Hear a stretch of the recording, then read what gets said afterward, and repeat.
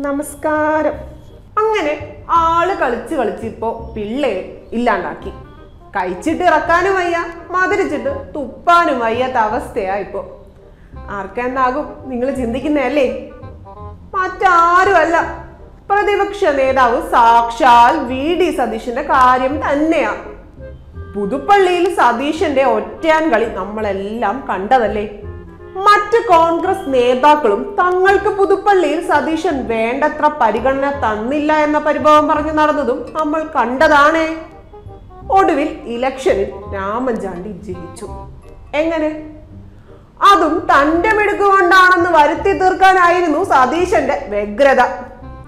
യഥാർത്ഥത്തിൽ രാമൻ ചാണ്ടി പുതുപ്പള്ളിയിൽ ജയിക്കാനുള്ള കാരണം രാമൻ ചാണ്ടിയുടെ പ്രവർത്തന മികവോ പ്രതിപക്ഷ നേതാവ് സതീശന്റെ പ്രവർത്തന മികവോ K P C C president സുധാകരന്റെ പ്രവർത്തന മികവോ അല്ലെന്ന് നമുക്ക് നന്നായി അറിയാം. ഉമ്മൻചാണ്ടിയുടെ മരണവും ഉടനെയുള്ള തിരഞ്ഞെടുപ്പും പുതുപ്പള്ളിയിൽ സഹതാപതരംഗത്തിന് ഇടയാക്കി. കൂടാതെ അവിടുത്തെ സഭയോടുള്ള ജനങ്ങളുടെ വിശ്വാസവും കൂടിയായപ്പോൾ അവിടെ രാമൻ ചാണ്ടിക്ക് വിജയം ഉറപ്പായിരുന്നു എന്ന കാര്യം കേരളത്തിലെ നെല്ലരി കഴിക്കുന്ന പൊതുജനത്തിന് പകൽ പോലെ വ്യക്തമായ കാര്യമാണ് അല്ലേ? എന്നാൽ ഇപ്പോൾ രാമൻ ചാണ്ടിക്ക് വോട്ട് ചെയ്ത സഭാവിശ്വാസികൾ ആകെ ആശങ്കയിലാണെന്നാണ് അറിയാൻ കഴിയുന്നത്. കാരണം രാമൻ ചാണ്ടി അമ്പലത്തിൽ തൊണ്ണൂറ് കിലോ പഞ്ചസാര കൊണ്ട് തുലാഭാരം നടത്തിയെന്നോ പുഷ്പാഞ്ജലി കഴിപ്പിച്ചെന്നോ ഉള്ള വാർത്തയും ഫോട്ടോയും ഒക്കെ പുറത്തു വരുന്നുണ്ട്.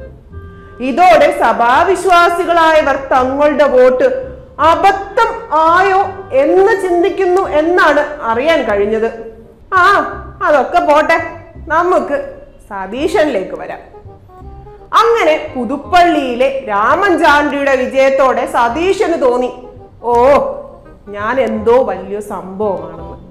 അങ്ങനെ രാമൻ ചാണ്ടിയുടെ സത്യപ്രതിജ്ഞാ ദിവസം നിയമസഭയിൽ സതീശൻ ആൾ കളിച്ചു പുതുപ്പള്ളി തിരഞ്ഞെടുപ്പായപ്പോൾ നിർത്തിവെച്ച നിയമസഭ വീണ്ടും കൂടുന്ന ദിവസം രാമൻ ചാണ്ടിയുടെ സത്യപ്രതിജ്ഞയും അന്ന്.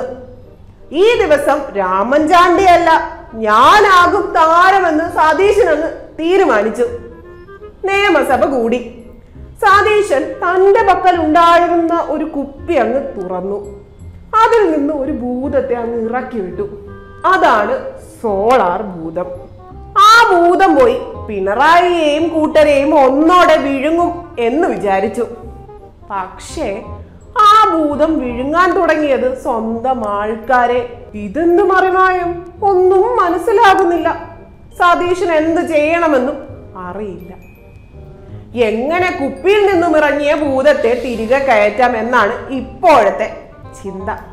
ഭൂതത്തെ തിരികെ കയറ്റാനുള്ള മന്ത്രം സതീശൻ ആളുകൾക്കിടെ നോക്കിയില്ല. ആവേശം കൂടിപ്പോയതാ.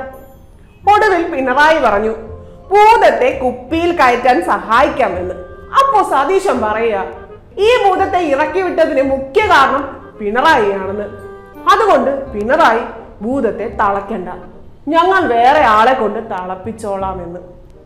ഈ ഭൂതത്തെ തന്റെ പക്കലിൽ നിന്നും ഒഴിവാക്കി അത് പിണറായിയുടെ പക്കൽ കൊടുക്കാനാണ് സതീശന്റെ ശ്രമം. അതെങ്ങനെ കൊടുക്കും? ഗണേഷ് കുമാർ വഴി കൊടുക്കാൻ പറ്റത്തില്ല. കാരണം സോളാർ സമയത്ത് ഗണേഷ് കോൺഗ്രസ്സുകാരനായിരുന്നു. എൽ ഡി എഫിലെത്തിയത് അതിനുശേഷമാണ് പിന്നെ എങ്ങനെ എന്നാണ് ഇപ്പോഴത്തെ ചിന്ത.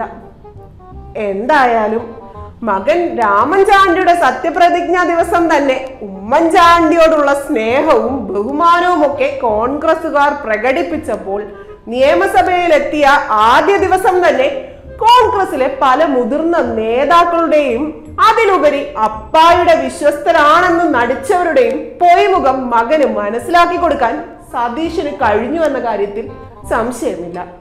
യഥാർത്ഥത്തിൽ അതായിരുന്നു സതീശന്റെ ലക്ഷ്യമെന്നും ചിന്തിക്കേണ്ടിയിരിക്കുന്നു. എന്തായാലും ആവേശം മൂത്തും ആളുകളിച്ചും സതീശൻ പല നേതാക്കളെയും പെടുത്തി. കൂടെ കോൺഗ്രസിനെയും പെടുത്തി. ഇനി എങ്ങനെയൊന്ന് കരയ്ക്ക് എത്തിക്കാം എന്നാണ് സതീശൻ നോക്കുന്നത്. ആവേശത്തിൽ ഒറ്റച്ചാട്ടത്തിന് കിണറ്റിൽ ചാടാം. പക്ഷേ തിരിച്ചു കയറാൻ പറ്റില്ലെന്ന് ഇപ്പോൾ സതീശന് മനസ്സിലായില്ലേ? അതുകൊണ്ട് ഒന്നേ പറയാനുള്ളൂ സതീശ. എന്തായാലും നനഞ്ഞിറങ്ങിയില്ലേ? ഇനി കുളിച്ചു കയറാം. അതേ ഉള്ളൂ മാർഗം.